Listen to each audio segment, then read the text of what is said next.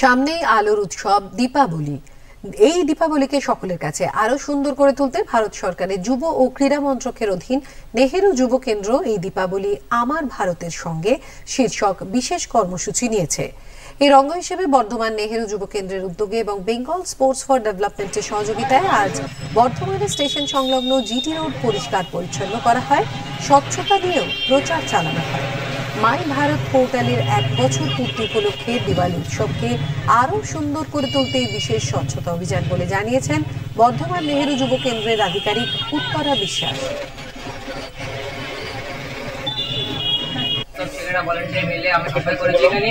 আর এখানে সবাই আমাদের সহযোগ করল, এখানে মার্কেটে এখানে, স্টেশনে এখানে আমরা সব সাফ করলাম গিয়ে আমরা সবাইকে অ্যাওয়ার করলাম যে প্লাস্টিক ফেলতে নেই প্লাস্টিক ইউজ করতে নেই।